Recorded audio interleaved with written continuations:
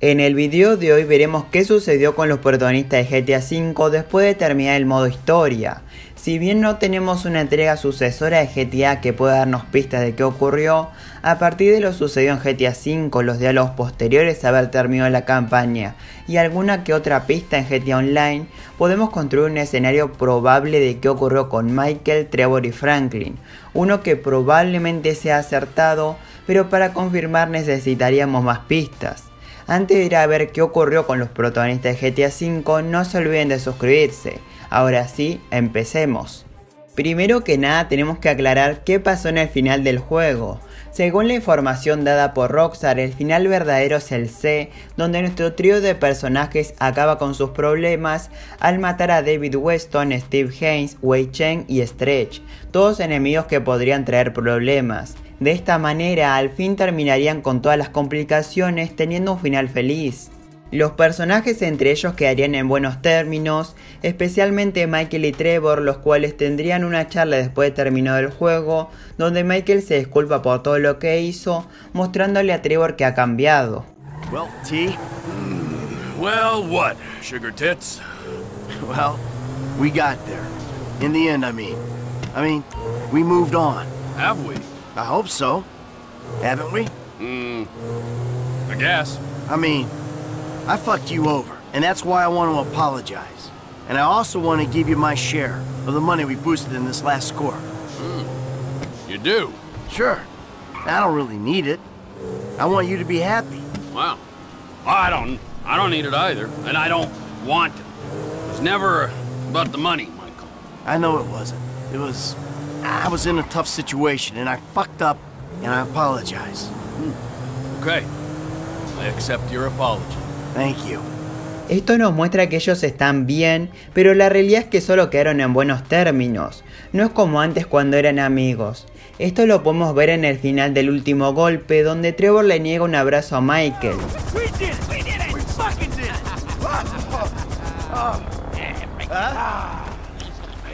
We are good.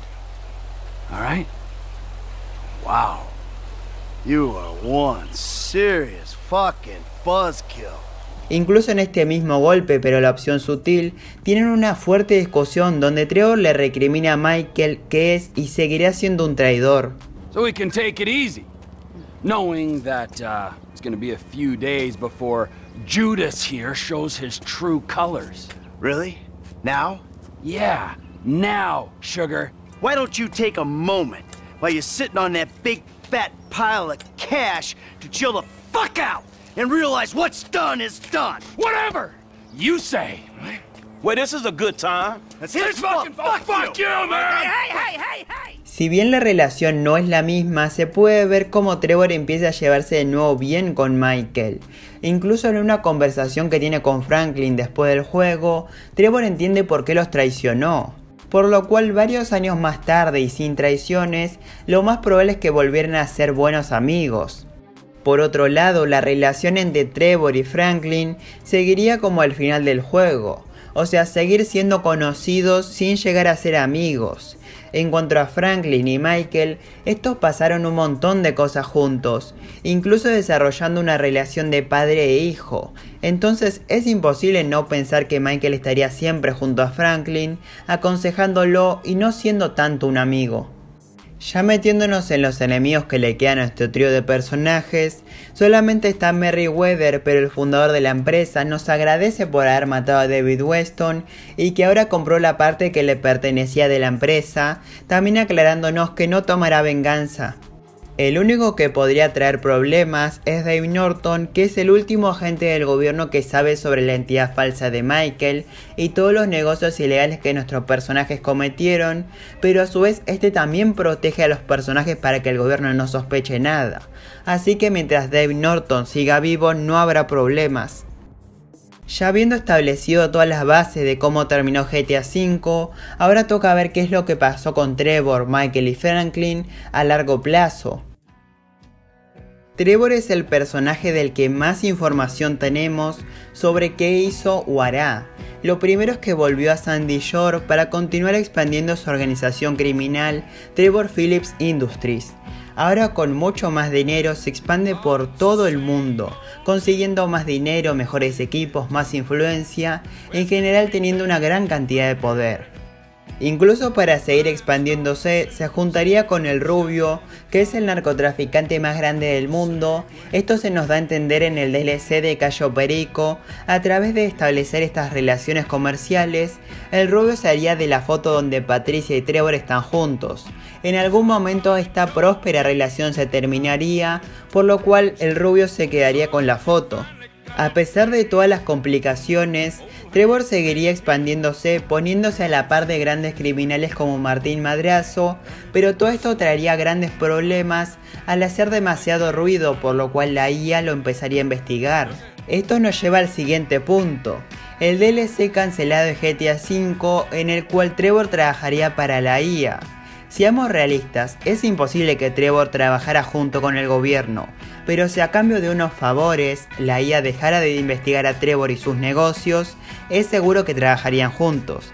Una vez Trevor le hiciera unos favores a la IA salvando al mundo, estos lo dejarían de investigar, permitiéndole expandirse de una manera mucho más agresiva, no solo por el estado de San Andreas, sino por todo Estados Unidos y países vecinos.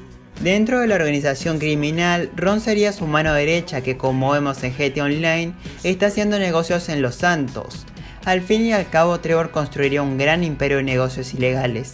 Este es en definitiva el personaje que más potencial tiene para aparecer en una nueva entrega de GTA o incluso protagonizar una de manera solitario, pero también existe una gran posibilidad de que cayera al cometer tantos crímenes pero a mi parecer Trevor seguiría vivo y expandiendo su negocio.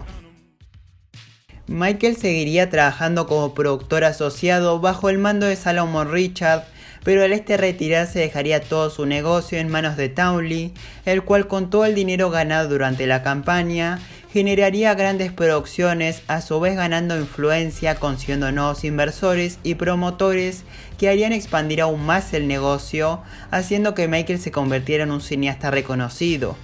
En cuanto a su familia podrían pasar dos cosas, que se distanciara aún más por todo el éxito y su poco tiempo, o la opción más posible que se uniera aún más a su familia al poder entender sus problemas y prestarles atención, como demuestra en las misiones finales y también en los diálogos posteriores a la campaña, donde se menciona que Michael está llevando una mejor relación familiar, como se puede ver en algunas escenas cuando cambiamos de personaje.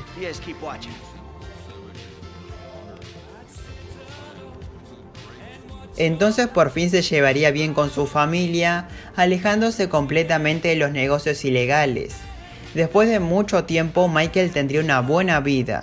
Lo único que le podría traer problemas es que su pasado como Michael Townley saliera a la luz, lo que significaría un arresto automático, pero que sucediera eso es muy extraño porque el único que sabe es Dave Norton, el cual se está a punto de retirar.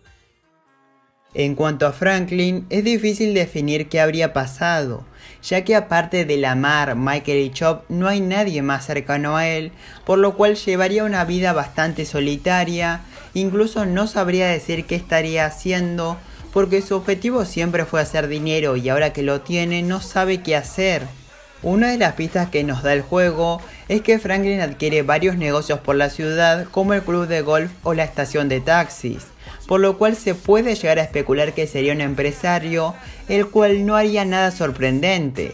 Como se puede ver al final del juego que está paseando a Chop, haciendo ejercicio, saliendo de un bar, cosas de un ciudadano común que si bien se encarga de sus negocios, aparte de eso no hace nada. Este es el personaje que más necesitamos que vuelva en una nueva entrega para aclarar qué pasó después de GTA V. Otra especulación sería que Franklin después del golpe del Union Depository continuara con su carrera criminal, ahora independiente de Michael y Trevor, pero estaría ayudado por Lester que durante toda la campaña lo aconseja y lo va formando como un experto criminal.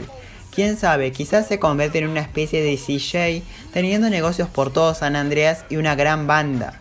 Esto igual es poco probable porque ya conocemos la actitud de Franklin, que es más de no querer arriesgar su vida por un poco más de dinero. Así que ahora con el dinero del gran golpe no tendría sentido seguir siendo un criminal, aparte de que Michael no dejaría que arruinase su vida volviendo al crimen, y también sabemos que Lester años después está salvando al mundo de una malvada inteligencia artificial.